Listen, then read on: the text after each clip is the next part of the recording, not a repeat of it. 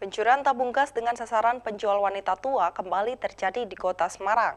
Kali ini dengan modus menjual tabung gas 3 kg dengan harga lebih murah, pelaku berhasil membawa kabur 5 tabung gas dan terekam CCTV.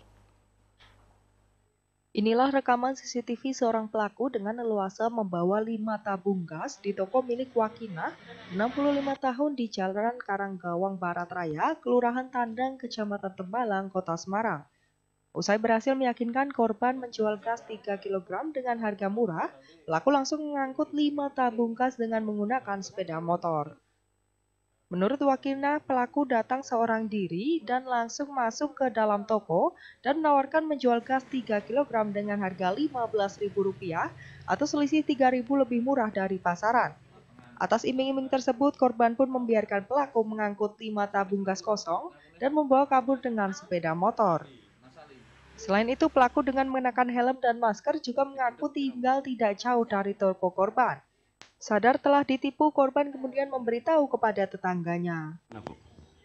Nawari, bilangnya nanti kalau sudah sampai bawa sini. Nawari apa itu, Bu? Nawari gas. Sing isi itu, Mas. Hmm. Lan itu dibetaken kok misalnya, Mas kok betaken mboten nganu sing ngoten isine pun Allah percayakan foto bu ngoten Itu kosong, Bu. nggih Jelaskan, Pak, terkait aksi pencurian ini. Jadi kejadian pencurian tabung gas di wilayah Kelurahan Tandang, kami menyarankan dari korban untuk membuat laporan dan kita melakukan penyelidikan untuk ungkap kasus. Sementara itu kita di dari ciri-ciri pelaku mungkin sudah kita dikantongi dari tim opsional, nanti kan akan melakukan penyelidikan dan ungkap kasus. Sementara itu yang kami sampaikan. Sementara itu dari rekaman CCTV diduga kuat pelaku adalah seorang yang sama dengan beberapa kejadian serupa di kota Semarang.